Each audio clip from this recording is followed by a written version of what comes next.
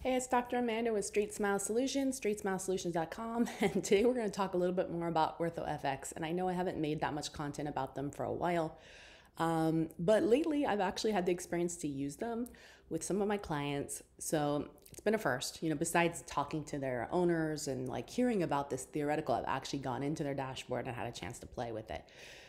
And I'm not impressed at all. I'm just laughing because all this hype and all this advertising and all these investors talking about it. And I was so excited. I really, really was expecting big things because I know two of the CEOs or the owners of the company were the ones that helped to start up Invisalign. So I was expecting it to be freaking amazing. And it's so bad. Like, so bad. Like, embarrassingly bad. It's worse than almost everything that's out there. I mean, I was blown away to how like just it was laughably bad, okay? And I'm sorry, this is just my opinion.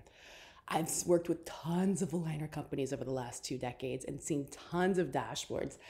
And yes, it might just be their dashboard is primitive and sloppy, but it's really unacceptable because they've been around for many, many, many years. It's not like they just launched yesterday y'all know I helped to start SDC. SDC was way more advanced than this, and that was seven years ago, and that was even the short time I was with them. So I'm just laughing.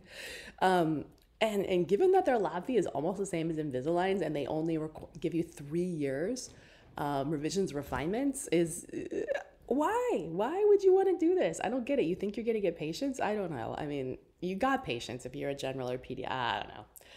Um, that that's all I gotta say. But um, I mean, it's just so janky, is what I gotta. That's just my word. Their their dashboard is janky. It's almost it's it's not that it's hard to use. It's just graphics are horrible and it doesn't have the functionality, the basic functionality that I even use with my white label company, which is global. They have way better occlusion, way better setups, way better graphics.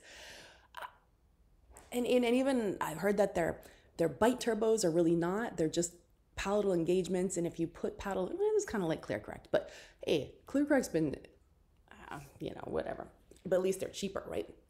Um, they do not have the ability for you to see occlusion, which for me is huge. If I can't see the initial and final articulation, you're out. I will never use your company. Uh, I can even do that on SureSmile. I can do it on ClearCorrect now. They have a good one now. They finally fixed that issue.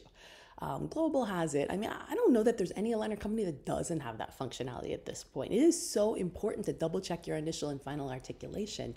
This is just basic ortho 101. And considering this company is started by orthodontists, it's like, really, what are you guys smoking? It's just, I'm just, I'm ranting because it's just laughably bad. And I, I was actually really disappointed. I was so excited for this company and now I'm just laughing. But, anyways, uh, I hate it. Uh, I mean, if, if doctors want to use it, so be it. But uh, I mean, I, I, don't think it's a waste of money.